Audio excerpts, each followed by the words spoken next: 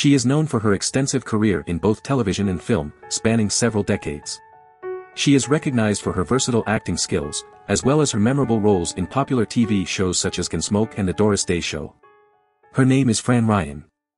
In the world of entertainment, one name stands out, Fran Ryan, an accomplished actor whose career spanned decades and left a lasting impact on television and film.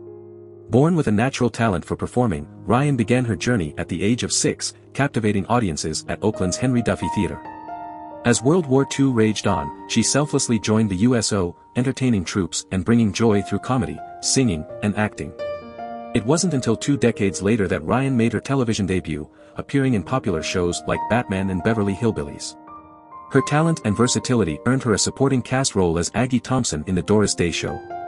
In a twist of fate, she was offered a replacement role on the beloved series Green Acres, portraying the memorable character of Doris Ziffel from 1969 to 1971.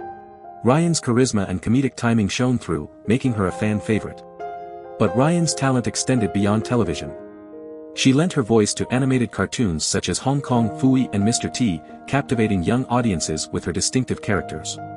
She also made appearances in feature films, showcasing her acting prowess in movies like Pale Rider and Chances Are. Her versatility allowed her to seamlessly transition between genres, leaving an indelible mark on both the big and small screens. Fran Ryan's impact and legacy continue to inspire generations of actors and entertainers. Her ability to bring characters to life, whether on stage, television, or in film, is a testament to her immense talent and dedication.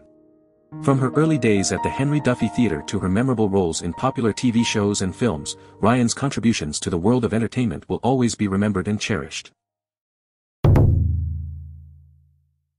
Fran's life took a tragic turn when her first husband, Walter Kenneth Wayne, died in a plane crash in January 1951. She was pregnant with their first child at the time. Despite the heartbreak, Fran found the strength to carry on and gave birth to their son, Christopher, in April 1951. The loss of her husband was a heavy burden for Fran to bear, but she embraced motherhood with all her love and dedication. In the midst of her grief, Fran found solace in the arms of love once again. In January 1953, she remarried to a man named Howard Schaefer. However, fate dealt her another cruel blow when Howard also perished in a plane crash in Oregon just a few months later, in May 1953. Tragically, the wreckage of Howard's plane was not discovered until 15 long years later, in November 1968. The remains of Howard and his passengers were never found, leaving Fran with unanswered questions and a profound sense of loss.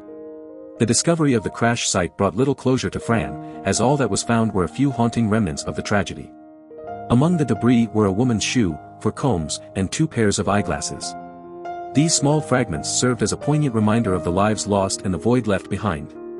Despite the lack of closure, Fran carried on with resilience and strength, raising her son Christopher with love and devotion. Through the hardships she endured, Fran Ryan displayed a remarkable inner fortitude. She faced unimaginable loss and tragedy, yet found the strength to rebuild her life and provide a loving home for her son. Her personal life, marked by the untimely deaths of her two husbands, is a testament to her resilience and the power of the human spirit in the face of adversity. Do you want to explore more actors? Who do you want to see featured next? Subscribe and leave a comment below to let me know. I'll see you in the next video.